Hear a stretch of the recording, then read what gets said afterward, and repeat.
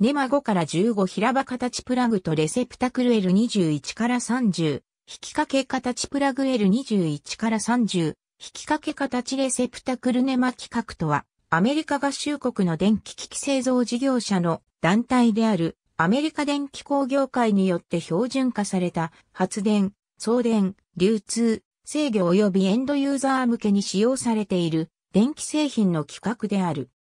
日本の屋内の各配線系には 1.6mm の VVF ケーブルが使用されており、その許容電流は 18A 以内である。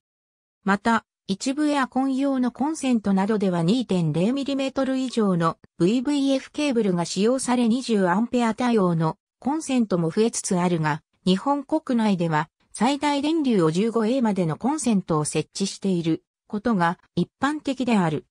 しかしながら UPS、ストレージ機器、マルチ CPU 搭載サーバ機器など、主にアメリカで企画され製造された機器で消費電力が大きく必要アンペア数 15A 以上のものは、ネマ規格のコンセントを備えるものが多い。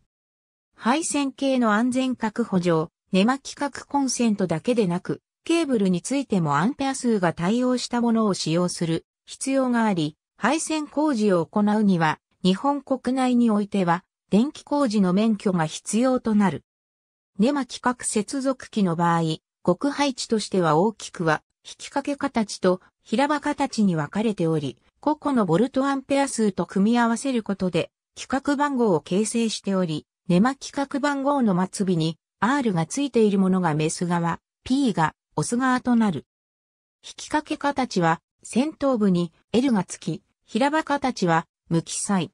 引き掛け形、定格 125V、15A、メス側での規格番号は L5 から 15R というような表記となる。ネマ。ありがとうございます。